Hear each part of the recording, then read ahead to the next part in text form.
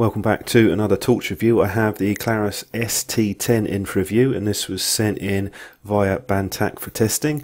So this is a new super compact model out from Klarus. So we just run through the packaging that's included. You can see the output there, 1100 lumens and on the side some of the specs. You'll notice the range on this about 115 meters and the candela is quite uh, low rating which means you're going to get quite a wide beam spread on this and on the back of the box we just go over some more of the details. You can see the four power levels, two strobe modes. You do get a battery that is included with this and you do have the micro USB port for charging. This is the micro USB cable that you get and a spare O-ring. And the Klarus wrist strap, same as the other Klarus ones that I've looked at with the low profile adjuster. And you also get a mini USB LED light plug this into a power bank, use it as a spare light. Now the seller, not Klarus, have included this um, extra holster so that you have one. There is an optional one from Klarus, I believe. I haven't used that. This is a third party one, but it fits the torch just fine. It's a respectable enough holster and I'm glad they included that because it's something which I might find useful with a torch of this size. So just run over some of the basic details. You can see the dimensions are listed out there. So this is just over 11 centimeters in length. So it's pretty compact for a 18650 torch. And you have a look at the design here. You've got a flat button. There's the micro USB charging port. Quite a decent size cover on this, a silicone flap, and that fits in place quite firmly, goes in quite deep, so that shouldn't come out by accident. And then looking at the LED, we have an XML2U2, but notice the optical lens just over the LED, so that should give us quite a bit of a beam spread on that. This is a stainless steel clip. You can remove that if you want. I generally leave that on there. It's quite a low profile one. And on the base, you'll see you have the four points, four cutouts, so you can attach the wrist strap. That part's flat, so just a single switch on this, but overall nice enough little design. They've got a good bit of knurling on the body as well. So we just unscrew the head. This is how you get to the battery. You can see we have smooth threads. There's the protector. We have the gold plated spring at the top. So just remove that, take that out. The battery that you get with this is um, Klarus branded one. It's obviously a Panasonic rewrap, rated to 2,600 milliamp hours. So not as high as some of the other capacity uh, batteries, but these batteries are good quality cells, so you can always use a higher rated one if you want, but it keeps the price down. This is a bit more affordable compared to some of the other Klarus models. In there you can see we also have a spring, so dual springs. You can use the flat top cells with this if you wish. We just screw that back up. It's a shame it's not anodized because you could have used a lockout, just a mechanical lockout, but there is a, a button lockout on this. So a quick look at the user manual and this just runs through all the specs and the details again. So you can pause that and have a look. I just put the manuals up in case people are interested.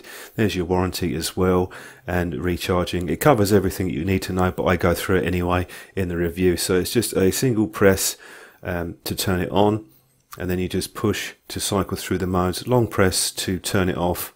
So you've got the four power levels and it has a mode memory for each of those power levels too.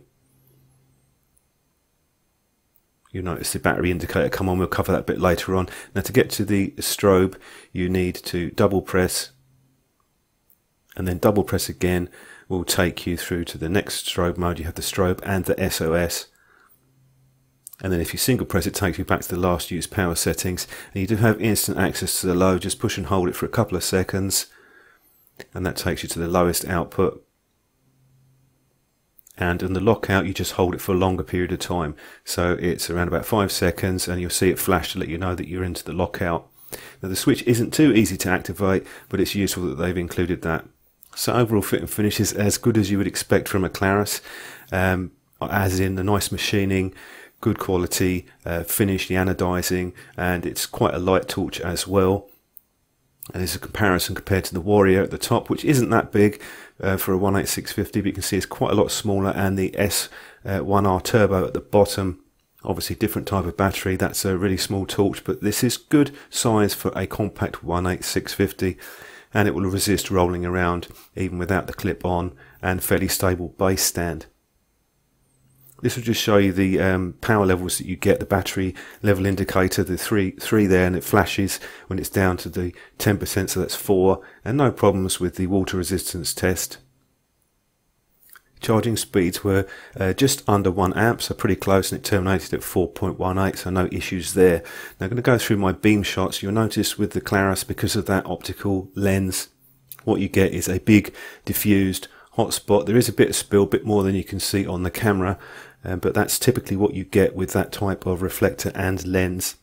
Compare it to the smooth reflector on the Rofis TR20 and you'll see the difference immediately. It's a much more focused beam. Even though this is a mixed beam torch, it's not as tight as a tactical beam. Quite different beam patterns on these. That's why I'm showing you these three ones. And the M2R Warrior, which has a textured reflector. Again, more spread out light. So they're all three of these are quite different. So it really depends what you are looking for. So I'll run through my beam shots and then we'll come back with a few thoughts at the end.